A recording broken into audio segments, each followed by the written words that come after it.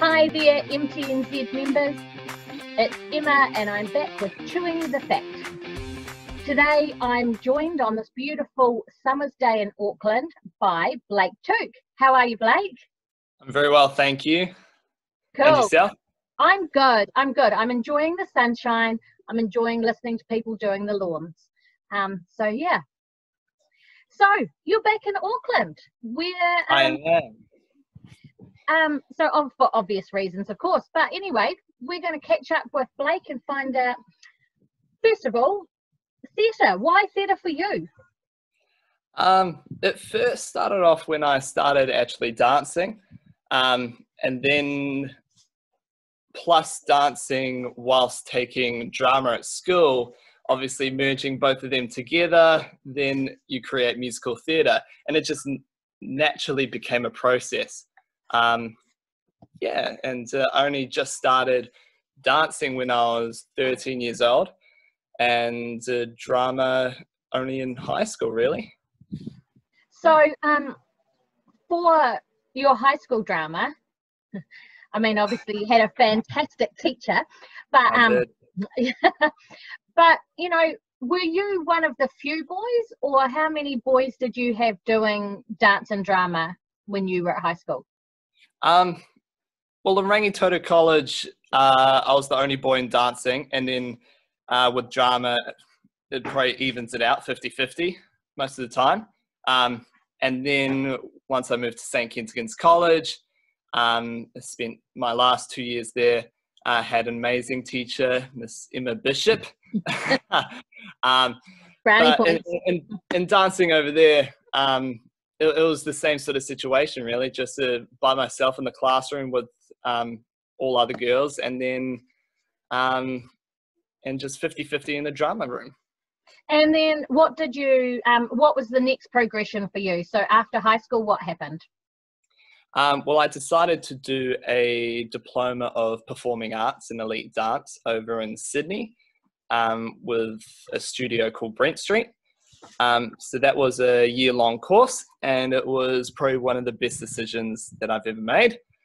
Um, I absolutely loved the lifestyle over there and uh, just learning a whole bunch of uh, variety of styles and um, just experiencing um, lots of great um, moments in my life. Yeah. And did um, being at Brent Street open up those networks for you as well? Like being out of New Zealand, do you think that made a huge difference? It did definitely, yeah. Um, it exposes you to to a lot um, more different, I guess, uh, shows because um, typically there would be around maybe ten different musical theatre shows are running throughout the year, whereas in NZ you might not get as much um, musical theatre shows. You might be lucky to have one or two um, one or two musical theatre shows coming through the Civic Theatre in Auckland, for example. Yeah, so um, it is a, a bigger business over there, um, which I loved, and just being exposed to so many um, amazing um, role models and tutors and etc. So who um what after after Brent Street, what have you most recently been doing?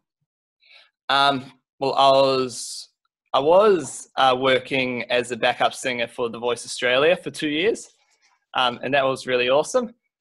Um, but then for like an entire year, just working hard um, into getting my first show, and then eventually got into West Side Story, um, the musical, and that was amazing. Um, uh, toured around, toured around uh, Australia, New Zealand, and Germany uh, for all of 2019, and that was amazing. Yeah, such a good experience. Had you been to Europe? Had you been to Germany and Europe before, or was this the first time for you? I'd never been to Europe before. Yeah, and it was amazing. It was so good. Like I had um, five days uh, before and after our Germany tour uh, off. So then I made a plan where I'd go to London and see some West End shows. Like I saw Waitress, which was amazing. Um, and then after I took a, a holiday off and went to Paris, which was awesome. Oh, fantastic. And just before um, isolation, which I'm assuming was it isolation that brought you home? Yeah, it was, unfortunately. Um, I was uh, for January and February, just for two months, teaching at a school in Perth. Um, and I was uh, just uh, sorting out, um, I guess, setting up my life over there just for this year until COVID got to a stage where I had to come home, unfortunately. But now um, I'm just teaching online through Zoom, and that's and that's been all good, great experience. Um, it's a little bit hard sometimes with the time difference, five hours. So, so most nights I'm working up until 2 a.m. in the morning, but um, but no, you you love what you do, so you just do it. And um, tell us a little bit more about who in the music theatre landscape in New Zealand or in the dance landscape are the kind of names that when you stand up there to get your award, who who would it be that you're going to be thanking? who who is it that I'm going to be thanking? I'm going to thank my uh, stepmom, I would say, because she got me into uh, the industry from from the very get go, the beginning. Because she um, had the studio you danced in, right? Yes, she did. Yeah. What studio was that?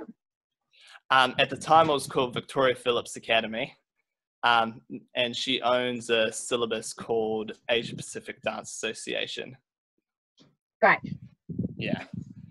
Um, yeah, so I'll thank her, of course. Um, and then I'll thank uh, yourself, to be honest, because um, it, it, yeah, like I, I absolutely did um, really take on a lot of um, a lot of things that you said over over the last um, year that I had with you uh, in my last year of St. Kent's, and um, just applied it to my everyday uh, work and lifestyle. So thank you for that.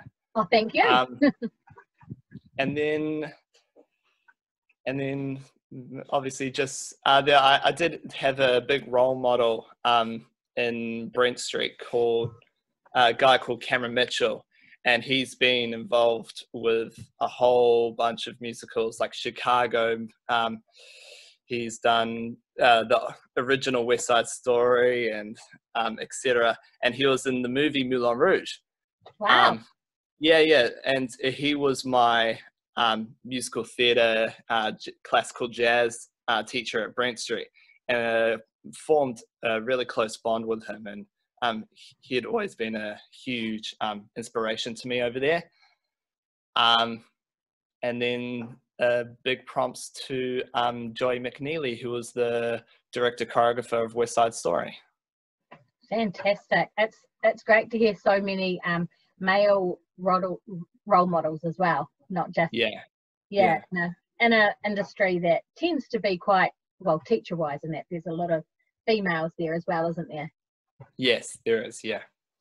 So, um, what have you been doing to keep yourself busy over the week and a half so far of lockdown? Um, well, physically, obviously, just keep on moving, staying fit.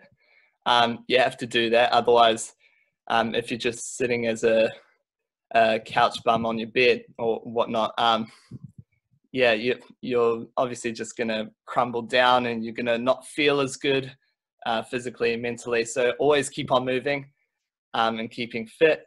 Um, and I always do a 10 minute warm up with my voice every single day um, on this app called Warm Me Up. It's really amazing. Uh, gets, gets, you to do a lot of um, really That's awesome. My dog. That's your dog. um, yeah, it gets me to do some really cool uh, singing exercises. So that keeps obviously up there still going. Um, and uh, videoing yourself as much as possible with self tapes or um, uh, acting scenes or husband in the video there. uh, um, yeah, so just videoing yourself as well and just looking at the industry and seeing what's happening until um, big announcements come along. And have you got um, um, have you got what's going to happen after when it after happens? Um, well, well, it's hard to think right now, really, because everything is on such a big halt. Um, and people are saying already that the industry is going to be affected for quite a long time, uh, just because of the the I guess the stopping of the whole industry. But um, uh, what my original plan was um, was uh, looking at uh, the Australian production of Moulin Rouge, the musical that was coming, and also uh, Cats in South Korea, uh, which which would have been really cool. Um, but now, oh, and also Book of Mormon, I, I, got to the last callbacks of that, which was really nice. Um, but now everything's just been on postponed. So I guess it's just a waiting game, as it always is with the entertainment industry, just waiting. So, if you were able to give a piece of advice to um, a next gener, maybe watching this, or a um, soon to be finished high school student about the industry, what would your biggest piece of advice be? Do you think? Um, my my advice would be to learn from your mistakes and humilities. And when I say humilities, I mean, um, I mean, when when the mistakes come uh, through when you're, for example, uh, in a live act and you miss your cue or miss a line, and you learn from that, and you think, uh, I don't really want to feel that um, ever again. So then you work harder to not be able to um, make any mistakes. So learn from your mistakes and your humilities. Fantastic. Uh, That's a great piece of advice, definitely. Yeah. Well, I hope you have a fantastic time in the sunshine and that you um, enjoy being home with the family. Obviously, it's not for the best reason to be home, but um, I'm sure you'll make the most of it. It's great that we've got these fantastic technology that allows us to, um, like you said, you are able to still teach um, even though it mm. all those hours away and it keeps you up late at night, which I'm sure your family must love hearing you dancing around the house at midnight. yeah, well, they say that it doesn't bother them; they can't hear it, so that's a huge bonus. But um, fuel. Well, that's definitely good that you can do that. Yeah. And, um, so for those, if people want to follow you and find out what you're doing with your life and your career, how can people follow Blake Tuke? Yes, I, I, I mainly use, I am, am active on um, Instagram. Um, yeah, I don't really use Facebook anymore. Um, yeah, just uh, follow me on Instagram. It's uh, just Blake Tuke, B L A K E, and then Tuke, T U K E. Fantastic. So jump onto Instagram, give Blake a follow. Um, he's got some really cool footage and photos of his time during West Side Story that you can check out. Mm-hmm. And um, thanks so much for coming and chewing the fat with me and giving us a little bit of an insight into Blake Tuke's world. And no. MTNZ, I look forward to seeing you next time on Chewing the Fat.